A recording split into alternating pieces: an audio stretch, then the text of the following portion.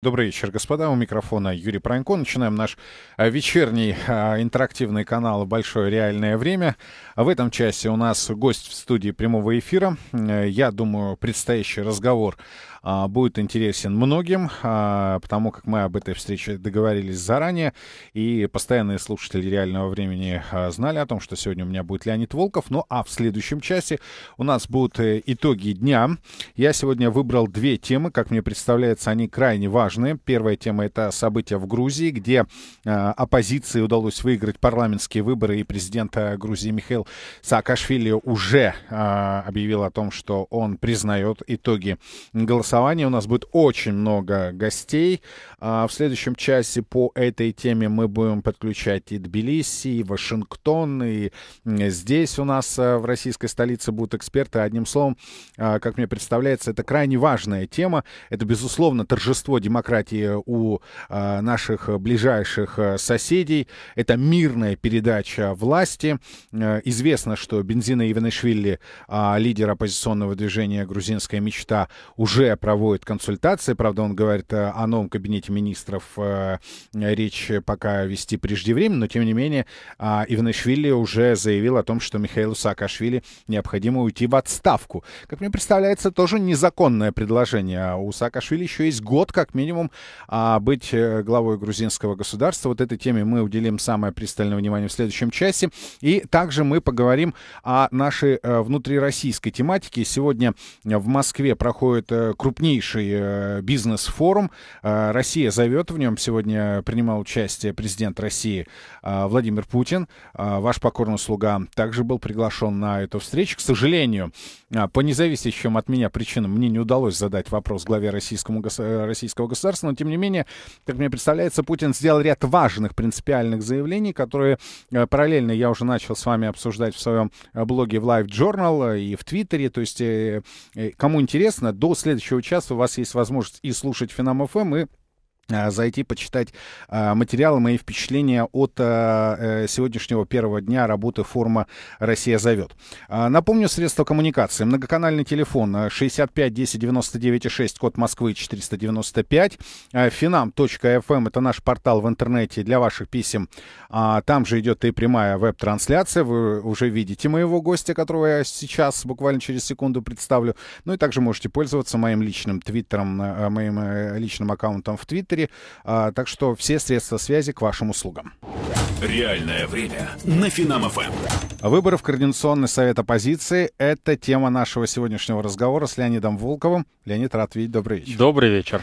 А, напомню, может быть, кто-то еще не знает, Леонид является председателем Центрального выборного комитета российской оппозиции. И а, последний раз, когда мы с Леонидом встречались, мы договорились отдельный эфир сделать, что называется, по вашим вопросам а, по вашим заявкам, да, а, высказывайтесь, звоните, пишите. То есть вот у нас с вами есть у слушателей Финам ФМ один час, чтобы ну, не третировать Леонида Волкова, но, по крайней мере, вытянуть из него все, что касается э, предстоящего голосования э, в Координационный э, совет российской оппозиции.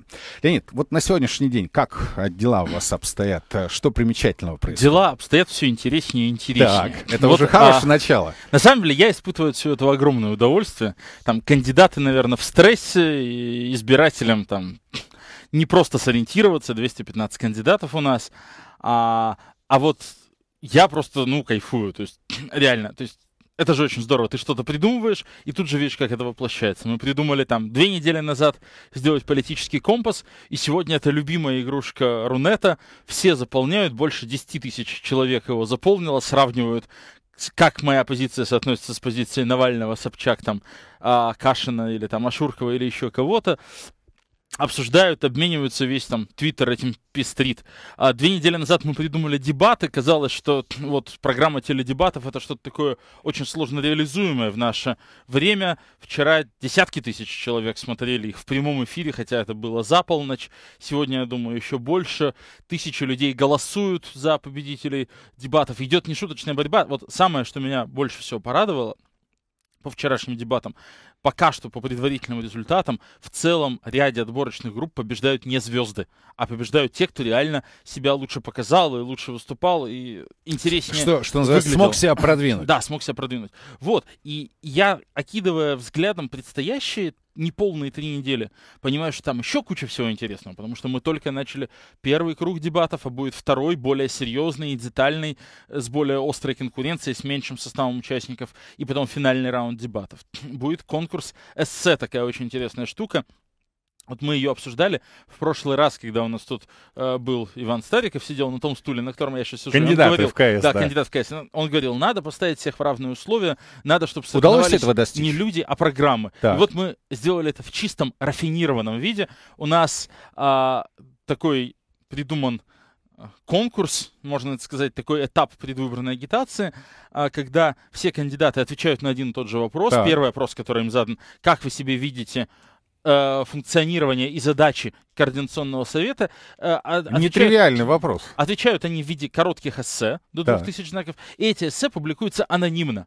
И лучшие избираются голосованием э, избирателей, опять же, зарегистрированных избирателей. То есть мы одновременно и тестируем, как у нас работает блок голосования, который нам пригодится 20-21 октября, но мы и э, действительно даем кандидатам возможность проявить себя, потому что избиратели, повторюсь, когда они будут голосовать за эти тексты, они не будут знать, э, чье авторство. Мы только после Но меня на самом деле подведем. радует, что звезды начинают отставать, да, то есть это значит, э, появляется объективность. Да, конечно. Не вот эта вот незвездность, да, там неузнаваемость в том же Рунете, там стопроцентная вот у тех персонажей, о которых вы выше говорили, да, а реальные программы, Да-да-да. реальные И- мысли. И мы делаем замеры, мы делаем э, замеры, пусть там не идеальные с социологической точки зрения, просто какие-то опросы, но они реально показывают, что у этой избирательной кампании уже появляются новые звезды, новые лидеры, которые именно себя хорошо показывают как политики в реальных условиях политической конкуренции. И, что особенно важно, совершенно ясно, что у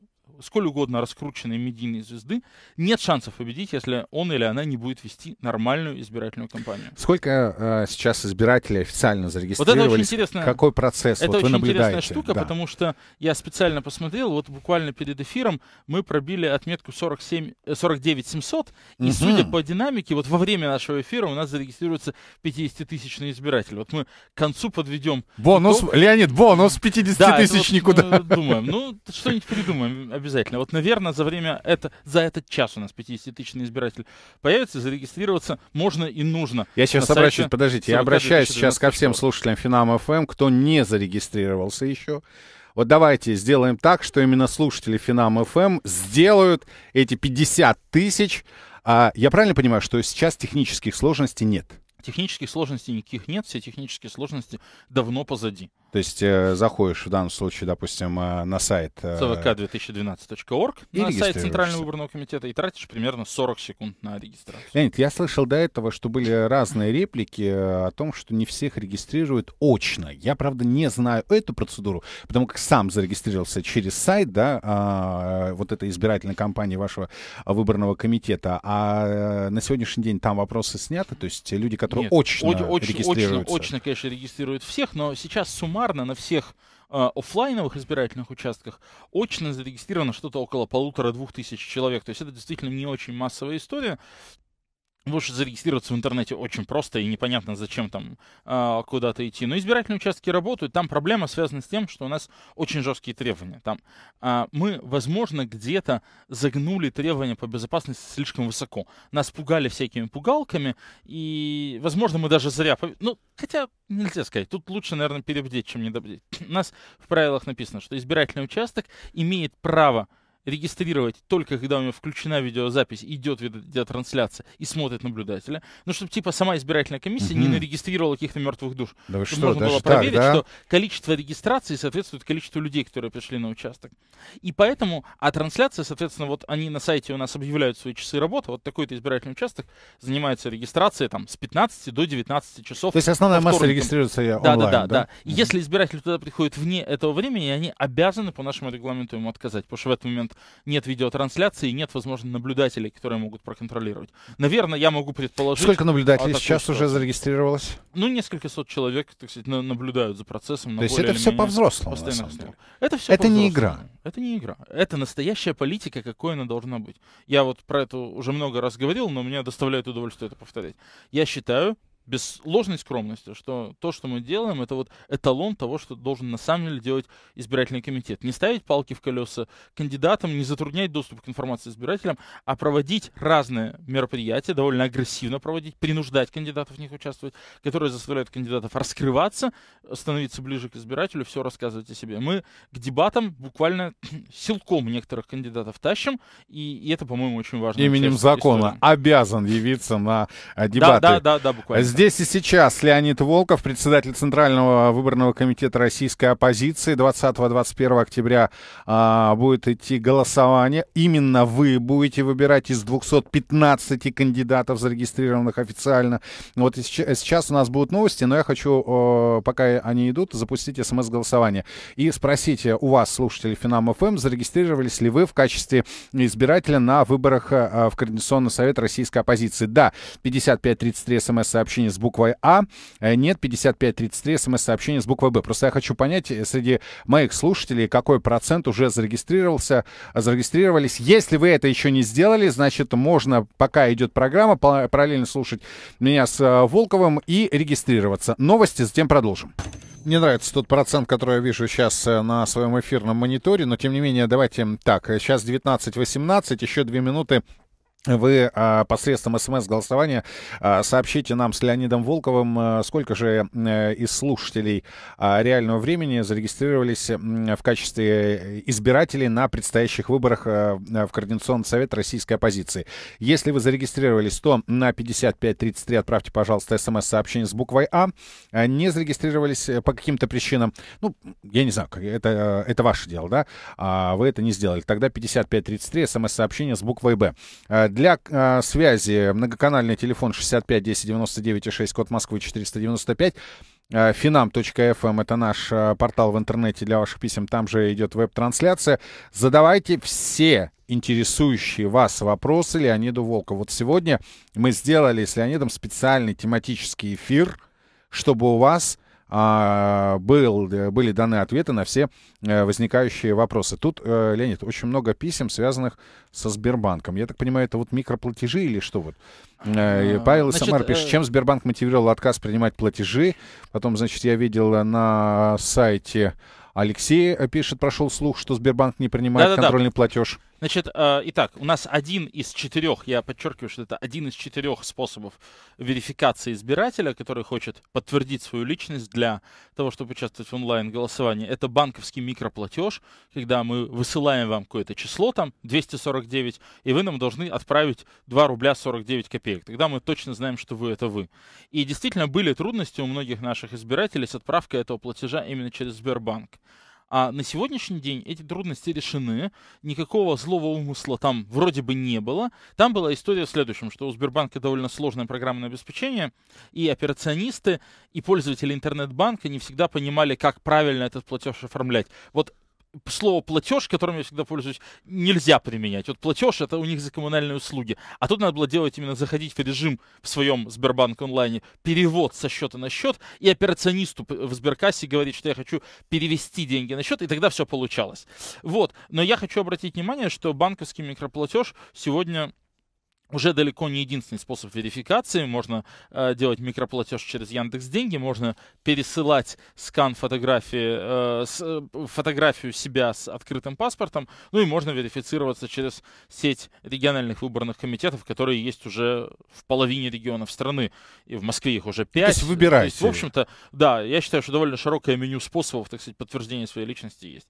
Нас часто упрекают, что мы сделали систему сложной, что верификация, вот регистрация регистрация очень просто у нас выглядит, да, 30 секунд. А вот последующее подтверждение личности а, для того, чтобы можно было именно онлайн проголосовать, да, а, не ходя никуда. Потому что зарегистрировавшись, ты можешь голосовать, но на избирательном участке. А верифицировавшись, можешь голосовать онлайн. Что получилось трудновато. Это правда. Это наверное, это так. Но мы выбирали между следующим. Или у нас будет 100 тысяч избирателей надежно верифицированных, или у нас будет миллион с ботами, накрутками и абы как. И мы все-таки для себя решили, что голосование 100 тысяч верифицированных избирателей, потративших усилия, деньги, время, это очень весомая и серьезная штука. Это очень легитимная штука.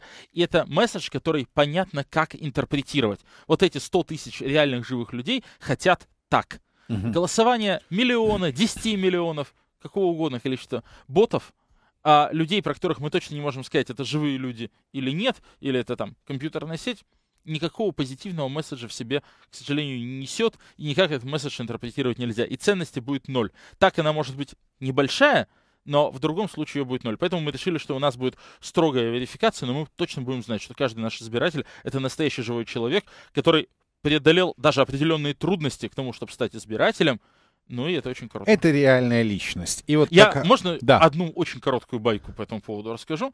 Вот известно, вот у нас единый день голосования всегда в воскресенье в России. Угу. Ну и мы голосуем с вами в субботу-воскресенье. А в Америке единый день голосования всегда вторник. Это второй вторник мая или втор... э, первый вторник мая или первый вторник ноября. Вот, и мне недавно рассказали, почему вторник. Ну, потому что понятно, что в воскресенье, э, там, в 18 веке, в 19 они все ходили в церковь, а в понедельник запрягали лошадку, садились в бричку и ехали. Но часто до ближайшего избирательного участка надо было ехать сутки на лошади. Но вот там демократия была так важна для этих отцов-основателей, что они были на это готовы. Во вторник они собирались, голосовали, в среду возвращались назад, и у них еще был конец недели на посевные или уборочные работы. То есть реально как бы было понимание, что демократия это то, ради чего можно там день времени убить. Я думаю, что когда мы просим там потратить 5-10 минут на процедуру верификации, мы ничего сверхъестественного не просим. А, я остановил смс-голосование, и, в общем-то, результаты меня, конечно, порадовали. 69,64% слушателей реального времени зарегистрировались в качестве кандидатов на, э, в, э, в качестве избирателей на предстоящих выборах в Координационный совет российской оппозиции, но 30,36% э, слушателей этого не сделали. Ну, отлично, значит, есть запас. Абсолютно. Хотя, конечно, интересно услышать обратную связь, почему. Пожалуйста, 65 10 99 6 код Москвы 495, finam.fm. Эм. А, наши средства связи. Здесь Леонид Волков в реальном времени председатель Центрального выборного комитета российской оппозиции. Но продолжаю вот отвечать на вопрос слушателей. Вячеслав пишет, три раза присылал им фото с паспортом в разных вариантах. Они хуже настоящей... Я вам цитирую письма, как они есть. Они хуже настоящей власти. Не хочу с такими иметь ничего общего. Еще так эмоционально, раз. да. Еще раз, у нас строгая процедура верификации. У нас прописаны требования, да, должно быть четко видно лицо, четко э, читаться фамилия, имя, отчество, дата рождения. Да, мы лучше отклоним недостаточно ясную и понятную фотографию, чем зарегистрируем что-то на фотошопленное. Это наша принципиальная позиция, мы считаем, что она Согласен. А Василий из Воронежа спрашивает, когда последний день регистрации избирателей? Регистрация закончится вечером 18 октября. 19 день тишины, мы будем готовить сервера, будем, исходя из численности зарегистрированных, там переезжать на новое оборудование, усиливать нашу систему защиты. 20-21 дни голосования. То есть, пожалуйста, успейте зарегистрироваться до 18 октября. А лучше прямо сейчас. Григорий пишет, что будет координировать совет лозунги революции, деньги, мысли, конкретности пшик.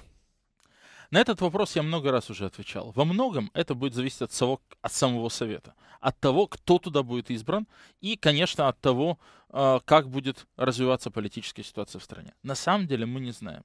Мы выбираем себе политических представителей, тех людей, которые от нашего имени будут профессионально заниматься политикой, в публичном пространстве в течение года.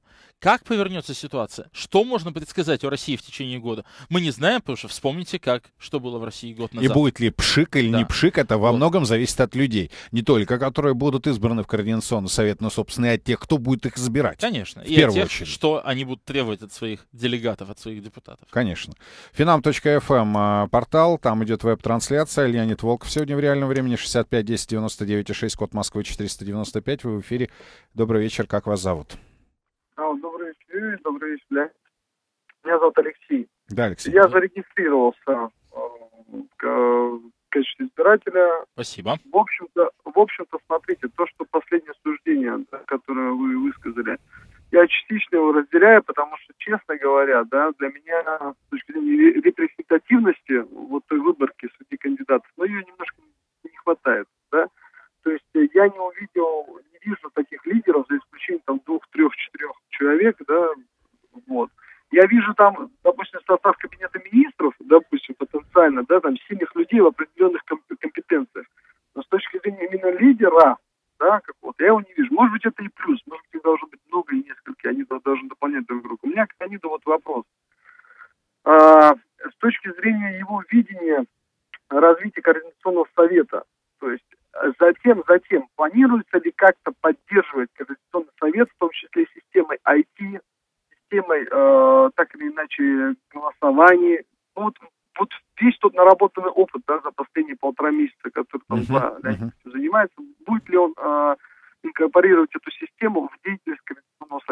Да, да я спасибо, понял вопрос, Алексей. Спасибо, это очень хороший и важный вопрос.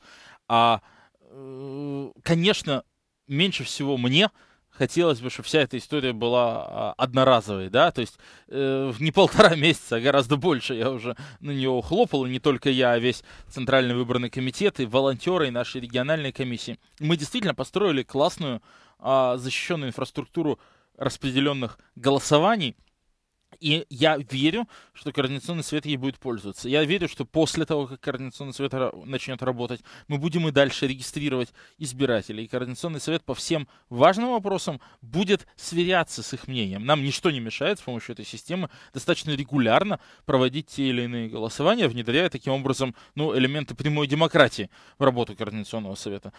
Возможно, что какие-то фундаментальные решения мы вот таким образом именно референдумом будем принимать. Ну вот, кстати, из этой же серии Андрей э, спрашивает э, в Твиттере, да, Юрий спроситель Леонида, а можно ли технически проводить не только выборы, но и референдумы? Очень много насущных вопросов. То есть вы а, подтверждаете, это возможно? Да, технически это возможно. Надо понять, так сказать, там, найти идеальную пропорцию между прямой демократией и демократией представительной. Потому что если по каждому вопросу спрашивать э, избирателей, то они тоже устанут. В Древней Греции на Агоре действовало такое правило о неважном соверш... Э, совещаются старейшины, о важнейшем весь народ.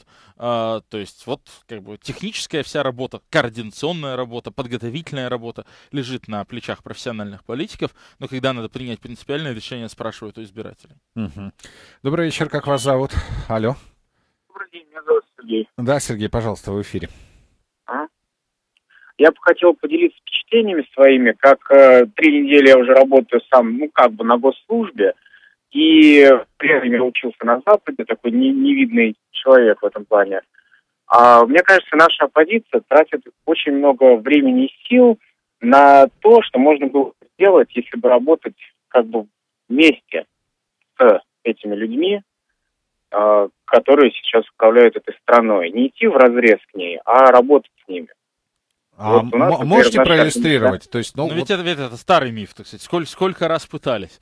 Э, я вот, вот, э, вот, Сергей, вот я, например, так сказать, там всю весну потратил на то, э, чтобы за свой счет, я живу в Екатеринбурге, летать в Москву раз в неделю на заседание там экспертного совета при там правительстве, грубо говоря, там и там пытаться донести какие-то свои идеи, там, меня приглашали, меня слушали, там, по той же, по электронной демократии, по обратной связи. В итоге ничего, все выхолостилось там до той э, идеи с февральской путинской статьи, что вот там петиция, э, под которой собрано 100 тысяч подписей, э, там, должна рассматриваться э, Госдумой в каком-то совершенно пока неопределенном порядке. Никаких, так сказать, других вещей, там, скажем, скажем, э, дать возможность там в электронном виде собирать подписи кандидатам в депутаты на местном уровне, еще какие-то вещи я предлагал э, там, все эти вещи там, никуда, никуда не пошли. И там, по прошествии времени мне совершенно стало ясно, что там результат работы эксп- этой экспертной группы был, ну, на самом деле, предопределен. И там от нас сильно не зависел. Получилось, зря потратили время. Это мой личный пример, но таких примеров ведь очень-очень много. Каждый раз практически такими благими намерениями. Да, они там просто заблуждаются, давайте там пообщаемся, им что-то подскажем, и они начнут все делать правильно оказалось, оказывалась выстлана дорога в ад, или, по крайней мере, глупость. Или куда-то, да, э, в непонятную сторону. Здесь э, Леонид Волков в реальном времени. Э, сейчас краткий выпуск новостей. Пишите на finam.fm, эм, звоните на 65 10 99 6. Сегодня у нас а, эфир построен именно на ваших вопросах, чтобы Леонид по максимуму смог на них ответить.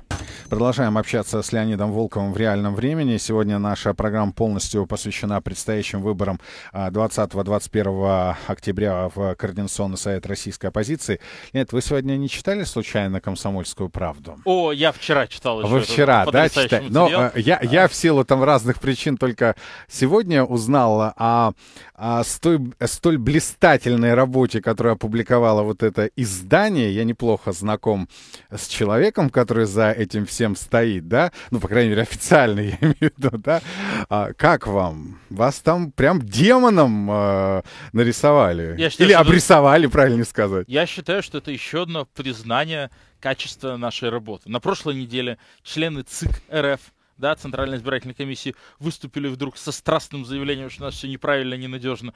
На этой неделе, значит, вот там э, так называемый Опус целый. Э, да, политолог Данилин, да, так сказать, там знаменитый такой, так сказать, кусок неприятной субстанции, так сказать, а, нас а, вот полил с собой, так сказать, с ног до головы. Мне кажется, что, ну, замечательно. Я могу сказать значит, э, слушателям Финам ФМ, что я вижу, как Леонид подбирает слова а. прокомментировать вот этот материал.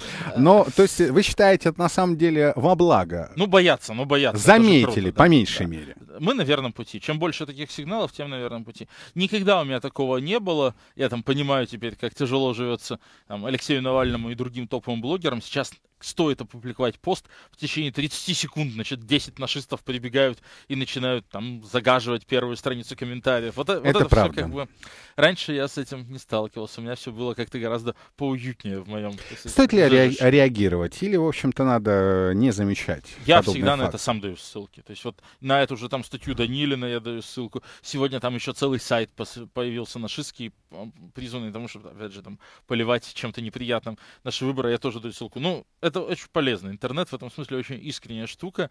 Он способствует тому, чтобы дурь каждого была видна, и все должны видеть. То есть, если против нас работают уже очень серьезные бюджеты и уже очень серьезные ресурсы, то это должно нас как-то мобилизовать. Единственное, чем можем ответить, это еще более массово регистрироваться в качестве избирателя, чтобы вот такие там флуктуации, э, вносимые возможным нагоном тех же нашистов, ну, не помешали, э, не сорвали бы выборы, в конце концов. То есть, я, мне кажется, что любой нормальный человек, который еще колебался, читая вот это все, должен идти и регистрироваться. Я, конечно, сегодня когда открыл, я так...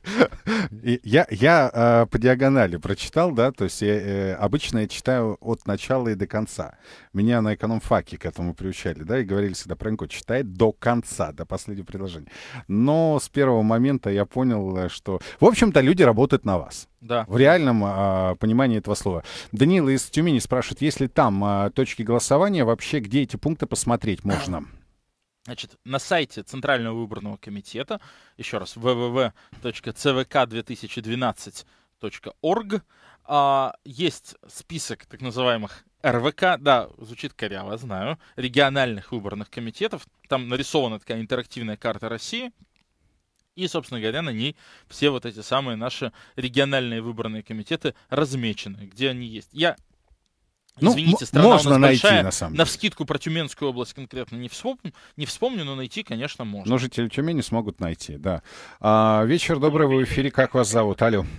А, добрый вечер, э, Николай. А, у меня вопрос такой. Вот смотрите, вот эта вот а, процедура аутентификации ну, или, как сказать, авторизации пользователей, да, когда они передают э, копии паспорта или как-то переводят деньги со счета. Вот я не уверен, что мои просто данные не попадут, ну, в ходе там хакерских атак или что это, в руки мошенников. А, вы же работаете с персональными, э, персональными данными. И вот как вот этот аспект э, у вас защищен? Значит, э, спасибо, Николай. Это тоже... Я специально позавчера опубликовал довольно большой текст, и он тоже на сайте ЦВК опубликован. Вот список часто задаваемых вопросов. Э, и там все повторять нет возможности, э, эфира не хватит. Но главный но, тезис. Но один из очень важных вопросов это, конечно, защита персональных данных. Значит, отвечаю. Э, мы защищаем персональные данные самым надежным, единственно возможным способом. Мы их не храним вообще. То есть мы, там, скажем, сверяем а, вас там вашу фамилию, имя, отчество, дату рождения с тем, что в паспорте, и сразу все удаляем. Потому что, конечно, мы понимаем риски, связанные с вероятностью утечки э, всей этой э, информации. То, точно то же самое с банковскими выписками. Подтвердили, удалили. И это очень жестко соблюдаемый нами принцип. Угу. А, еще один вопрос э, с сайта. Леонид, а не мало ли для раскрутки выборов э, в КС времени? Может быть, перенести выборы с 20-21 октября на 3-4 ноября? Ведь пока зарегистрировалось только около 50 тысяч избирателей. Вот по мнению слушателя Василия, это мало. А, есть разные точки зрения на этот счет, много это или мало. Если встречались, да, с а, подобным Да, мнением? при нынешней динамике мы выйдем примерно на 100 тысяч зарегистрированных избирателей в итоге.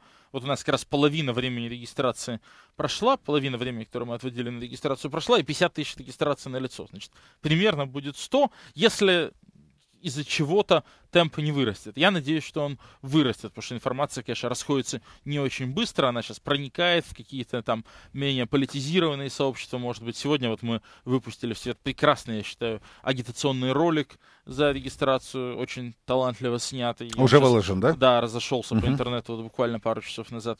Еще какие-то методы агитации будем принимать. Но в целом, думаю, будет где-то около 100 тысяч. Там, дай бог, если мы сможем как-то разогнаться 150. Я Но... напомню, что слушатели Финам ФМ сейчас должны э, довести цифру зарегистрированных избирателей до 50 тысяч. Мне не важно, где вы нас слушаете. В Москве, Московской области, в Питере, Екатеринбурге или Нижнем Новгороде или Чебоксарах. Я знаю, что география обширна. Мне принципиально важно чтобы вы сейчас поддержали это, да? То есть я э, отношусь к предстоящим выборам, как Леонид Волков, очень серьезно. Понимаете, можно э, э, сколько угодно копий ломать. Uh, у меня тоже были разные моменты восприятия предстоящего голосования. Но я считаю, что, знаете, вот есть вещи, которые надо сделать. Вот просто надо сделать, да? Можно сколько угодно рассуждать, но иногда полезно и действовать. А, поэтому э, регистрируйтесь, портал открыт, э, технически это все очень просто, я знаю это по своему опыту делать. Леонид Волков в реальном а, времени.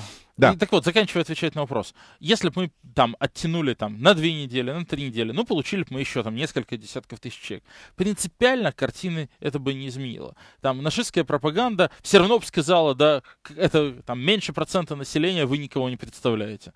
А мы бы все равно понимали, что э, активная часть общества, люди неравнодушные, люди, созревшие на такой гражданский поступок, как регистрация, никогда большинством не были и не будут, но очень важно, чтобы эти люди четко сделали свой выбор. Есть своя драматургия у предвыборной кампании, думаю, что она продлится ровно столько времени, сколько нужно. Да, я согласен, не надо переносить, э, назначены даты, все. А, спрашивают, какой приз 50-тысячнику, а, Леонид сказал, думают, думают, думаю, порадуют, порадуют. Но все-таки это знаковый такой момент, а потом, а потом потом 100 тысячнику надо будет что-то вручить, да, и так далее. Добрый вечер, как вас зовут? Не так, добрый вечер, как вас зовут? Алло. Алло, здравствуйте. Да, как вас зовут? Добрый вечер. Меня зовут Алексей. Да, Алексей, пожалуйста. Uh, у меня вопрос к Леониду. Значит, э, ну, вопрос идея, так сказать. Я являюсь специалистом в области высоких технологий.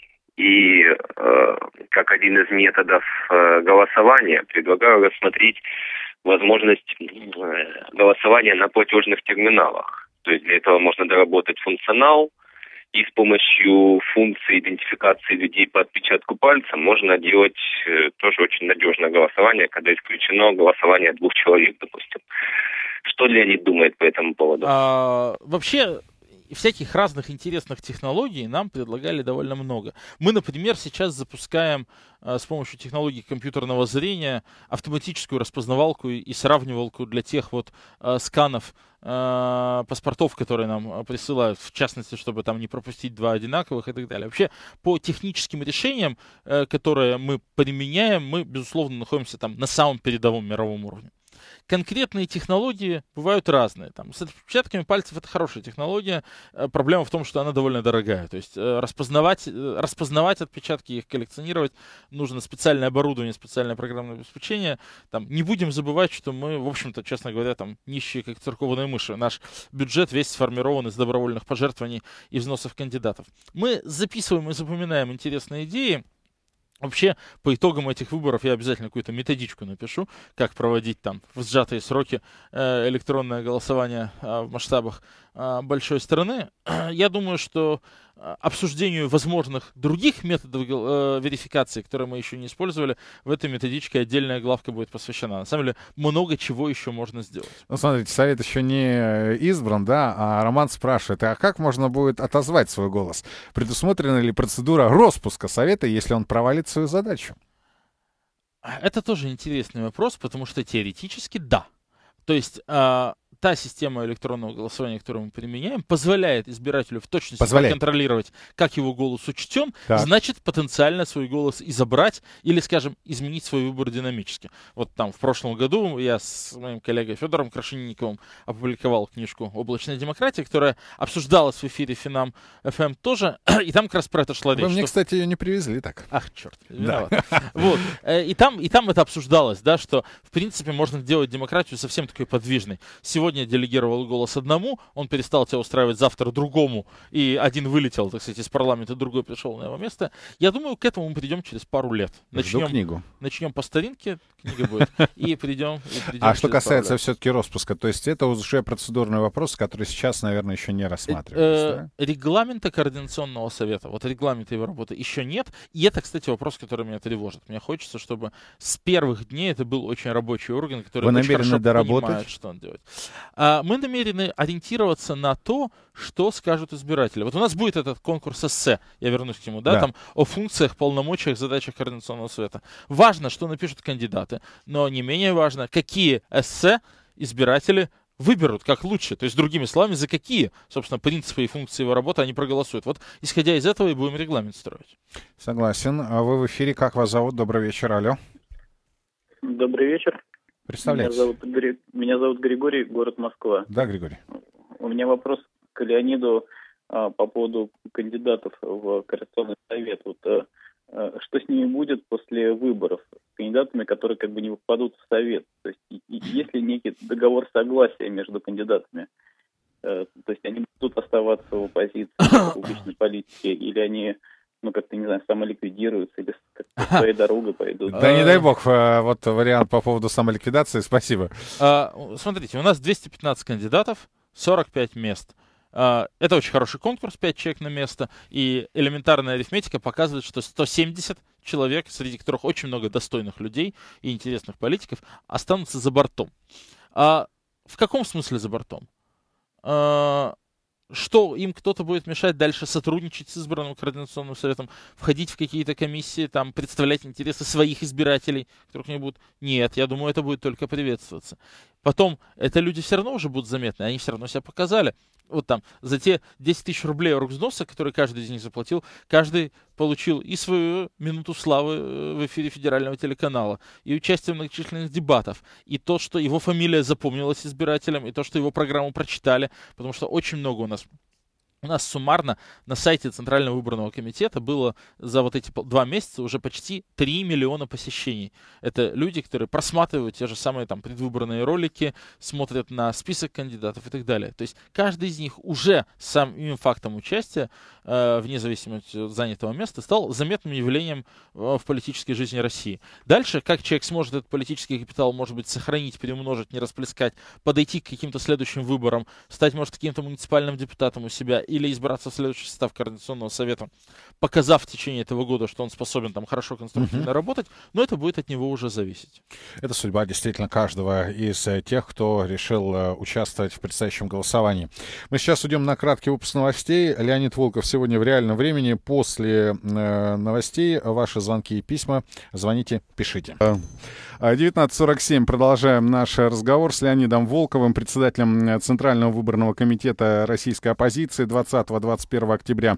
Э, выборы в Координационный совет. Ваши звонки на 65 10 99 6, код Москвы 495, фильм э, письма на finam.fm, эм. там же идет и э, прямая веб-трансляция. Вот Даниил пишет, э, Юрий своей беседы с Леонидом Волковым убедили такие, сейчас начну регистрироваться. Спасибо, парни. О, спасибо спасибо вам, Даниил, что, во-первых, вы нас слушаете, во-вторых, действительно, как мне представляется, мы говорим об очень важном. А, Алексей из Новокузнецка, Леонид спрашивает, в одном из эпизодов фильма «Срок» Максим Марцинкевич заявил, что в кандидатах у него есть человек, который после выборов передаст ему мандат. Меня это не устраивает, пишет Алексей из Новокузнецка в корне. Поэтому вопрос, как защитить выданные мандаты от подобных действий. Ну, во-первых, пусть э, господин Марцинкевич сначала обеспечит победу своему кандидату, что вряд ли возможно, потому что никаких реальных людей, так сказать, за ним э, нет, там, а только небольшая компания нашистских э, мурзилок. А во-вторых, ну, конечно, мы избираем представительный орган, то есть никакая передача мандатов регламентом координационного совета, естественно, не предусмотрена, потому что у нас персональное голосование. У нас нет, как в Госдуме, этой позорной практики паровозов. У нас же э, избиратели голосуют за конкретных людей, и этим конкретным людям, если они будут избраны, предстоит работать в составе Координационного совета. А, ну, вообще, это, конечно, позорная история, потому что ну, смотрите, господин Марцинкевич, так сказать, там был нацистом, да, не скрывал своей любви к Гитлеру, э, выпускал обучающие ролики на тему того, как отделять голову дагестанца от туловища дагестанца и прочие, так, прочими такими вещами, так сказать, прославился все это время в интернете. Потом он немножечко в тюрьме посидел, там, видимо, объяснили, где его место, и стал активно сотрудничать там с органами внутренних дел, правоохранителями и всякими прочими. И вот он сейчас такой подментованный э, человечек, значит, смешной, который при полном э, посред, так сказать, э, поддержки со стороны там, движения «Наше», со стороны всех прокремлевских каких-то организаций. Он постоянный гость в эфире у Сергея Минаева. Значит, он обнимается там со всякими нашистами. Вот его используют э, для того, чтобы как бы там сорвать выборы. Мы отказали Марцинкевичу в регистрации не потому, что он нацист, а потому, что он нашист. И это там пытаются раздуть как скандал. Вот, значит, там, какие же это демократические выборы, Марцинкевича сняли. Практически единственного, кстати. Вот.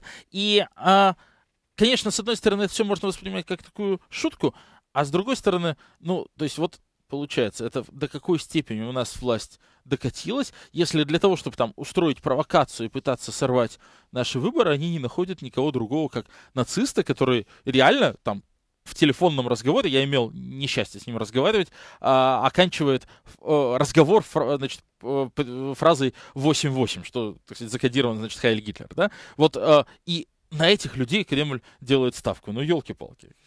Идем дальше. Добрый вечер. Вы в эфире. Как вас зовут, Алло? Здравствуйте, это Костя. Да, Константин. А, Юрий Леонид, а, мне кажется, система ваших выборов ненадежна, потому что недобросовестные кандидаты могут просто Алло. Вы где? Вы где? Мы вас, э, мы вас теряем, как говорят в таких случаях. Алло.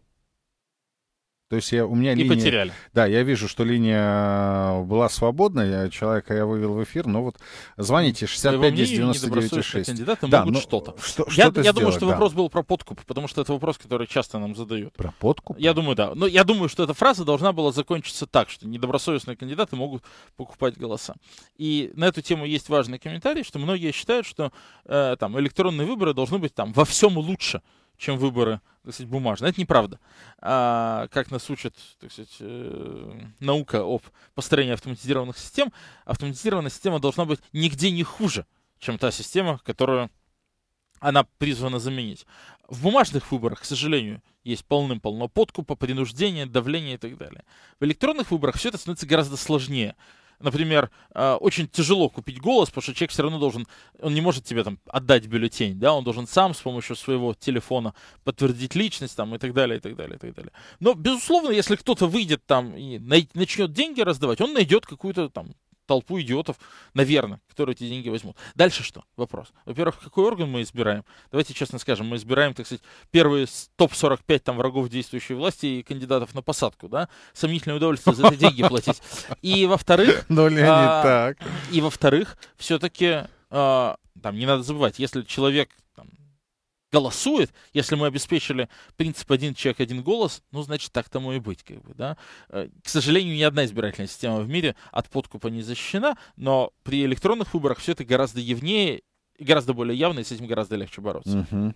Ну и вообще, как-то вот мне само, сама формулировка подкуп, да, на выборах Координационный совет российской оппозиции, диву даюсь на самом деле. Неужели, правда, кто-то будет подкупать? Э, по-моему, это должен быть образчик а, антитеза тому, что мы видим на так называемых всенародных выборах в России.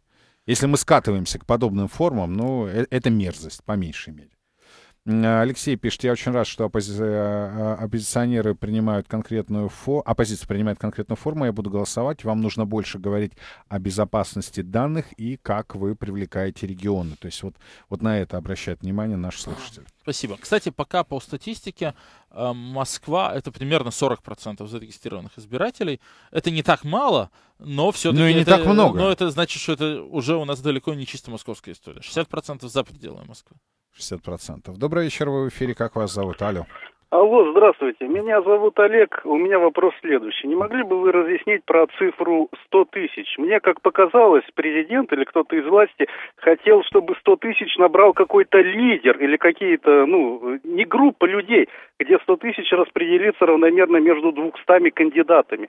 Таким образом, э, процент проголосовавших за вот эту верхушку этих лидеров будет ничтожно мал. То есть мне казалось, что за лидера должно 100 тысяч проголосовать. А, спасибо. Я, Спасибо. Олег, спасибо за вопрос. Я поясню. У нас как заполняется избирательный бюллетень? У нас 215 кандидатов, и каждый, а, мы выбираем координационный совет из 45 человек, и каждый избиратель сможет поставить 45 галочек. То есть каждый избиратель предлагает свой состав координационного совета, каким он его видит оптимальным. Мы все эти, так сказать, бюллетени сравниваем и формируем такой консенсусный, компромиссный координационный совет. Таким образом, э, если там у нас проголосует 100 тысяч избирателей, то я думаю, там победитель, э, наверное, окажется почти во всех бюллетенях, почти во всех этих, так сказать, 45-ерках мечты, и там вполне возможно наберет там 80 тысяч голосов.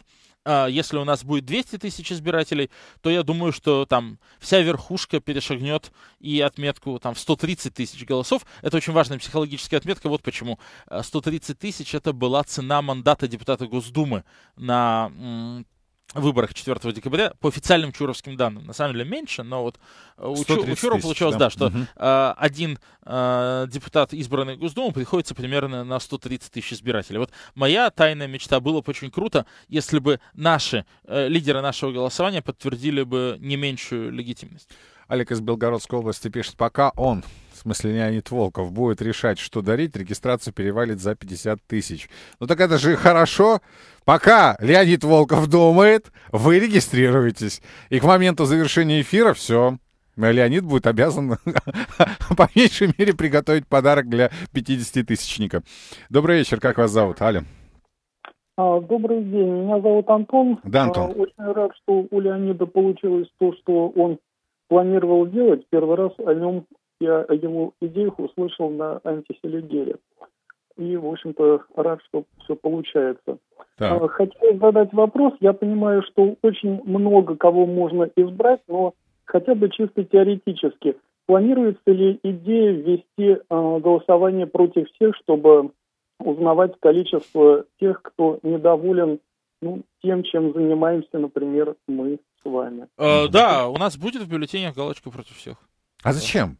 Uh, вот объясните на, мне, зачем? Например, потому что у нас ведь будет в бюллетене 4 части, да, мы избираем 30 uh, членов Координационного совета по общегражданскому списку, и по 5 от политических организаций, э, левых, либералов и националистов. И, возможно, кто-то будет э, хотеть избрать только своих представителей по общегражданскому списку, но будет голосовать против представителей тех или иных политических организаций. Есть известное такое как бы, противопоставление между вот таким гражданским протестом и политизированным, и вполне возможно, что какие-то избиратели захотят его в явном виде выразить. Мне кажется, вот э, если люди участвуют, участвуют в предстоящем голосовании, ну, против всех не знаю. Нет, почему? Я вижу смысл в голосовании против всех по отдельным спискам. Угу. Не, не в целом против Да. всех, это странно, зачем Да. ты регистрировался. А вот, скажем, там против всех там левых или против всех либералов, ну, почему нет? А, это не а, руководство к действию. Каждый из вас будет принимать решение 20-21 самостоятельно. Как вас зовут? Добрый вечер. Э, Добрый вечер, Евгений. Да, Евгений. Э, Я хотел э, спросить одну вещь, ну, может быть, она такая мелкая, но вполне, э, в общем, ближе к делу. Я зашел на сайт И участвовать в дебатах или там наблюдать дебаты может только те, кто верифицирован. Не сужаете ли вы таким образом число заинтересованных вообще в самом процессе и результате? Значит, смотрите, да. Евгений, спасибо за вопрос. Значит, участвовать в дебатах могут кандидаты, наблюдать дебаты может кто угодно, но только верифицированные избиратели могут проголосовать за победителя дебатов. Но для нас это очень важная часть истории, потому что мы хотим таким образом, опять же, вовлечь избирателей. Нам хочется, чтобы больше избирателей регистрировалось верифицировалось, чтобы уже сейчас на стадии дебатов а, тоже принимать участие в решении вопросов, кто выйдет там в следующий круг а, дебатов и так далее. Ну, если хотите, это такой у нас маркетинговый ход.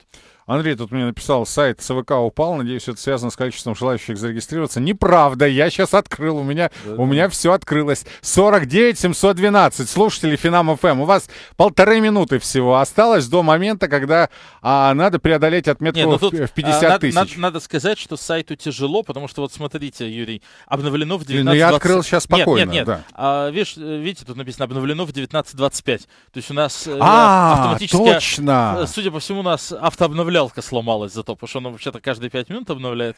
Я рад этому без, безгранично. Мы сейчас Слушатели. Финамфом, обваливайте! Вот. То есть мы не знаем, сколько за последние 30 минут у нас зарегистрировалось. Ну, очень я... близки, в общем-то, к результату в 50 тысяч. А, последний, к сожалению, вопрос Леониду Волкову. Добрый вечер, вы в эфире. Как вас зовут? Алло. А, добрый день, Лев Сергеевич. Да, Лев Сергеевич. Вы знаете, Чуров тоже предложил, что следующие выборы тоже будут электронными. Вот я вообще не доверяю этим электронным выборам. Там можно подтасовать как угодно и сколько угодно. Намного легче, чем на бумажном носителе. Спасибо. Это, Лев Сергеевич, это распространенное заблуждение. Мы пытаемся всей нашей практикой показать, что это не так. Во-первых, мы очень публично описываем процедуры э, голосования, которые у нас есть. Во-вторых, мы даем попробовать. Вот сейчас идут голосования за э, участников дебатов. Пока не на корову играем, мы пока не избираем еще членов Координационного совета, а только решаем, кто пройдет в следующий раунд дебатов. Но вы можете пойти, попробовать голосовать, попробовать убедиться, что а, два раза вам проголосовать никто не даст, б, ваш голос будет посчитан и правильно посчитан. Вот, э, задача растопить лед недоверия к электронным выборам, это в том числе одна из тех задач, которые мы сейчас решаем. 49 859 вот Но, сейчас. А, а давайте, давай, давайте, давайте, давайте, уважаемые слушатели. Леонид, спасибо большое. Я думаю, это была наша вторая уже встреча здесь, но далеко не последняя. Я предлагаю до 21, 20, 21 еще встретиться. Я с удовольствием. Да? А, ну и потом, безусловно, уже по итогам голосования также провести отдельные эфиры и так вот доложить избирателям о произошедшем. Договорились. Спасибо. Леонид Волков, председатель Центрального выборного комитета российской оппозиции, был сегодня в реальном времени на Финам ФМ. Сейчас краткий выпуск новостей, затем итоги дня.